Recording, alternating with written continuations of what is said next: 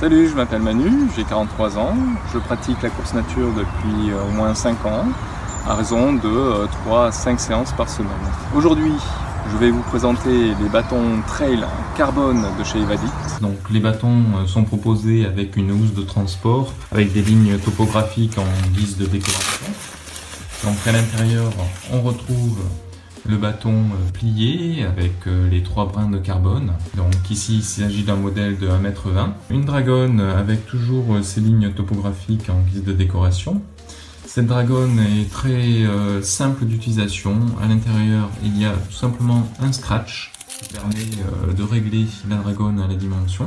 On a ici une poignée d'environ 23 euh, cm, donc une poignée assez longue, en mousse EVA moucheté. Et ici, on a tout un système filaire à l'intérieur du bâton qui permet de relier chaque brin de carbone. Si je veux replier le bâton, ben, c'est simple, je retire ici jusqu'à en le clips.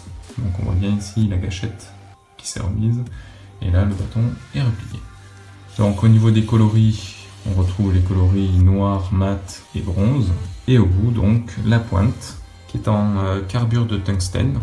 Donc c'est un matériau assez résistant et très incisif euh, quel que soit le terrain.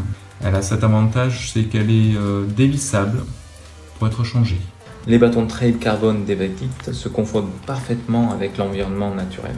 Ergonomiques, très techniques, ils vous apporteront tout le maintien nécessaire au dénivelé convoité. Le rapport qualité-prix est très intéressant, le poids est très faible, sur du 1m20 on est à 296 grammes, ce qui est très peu. Le pliage, le dépliage, comme vous l'avez vu sur les vidéos, est euh, très rapide, très facile et euh, on a quand même euh, des bâtons en carbone qui sont confortables et à la fois robustes.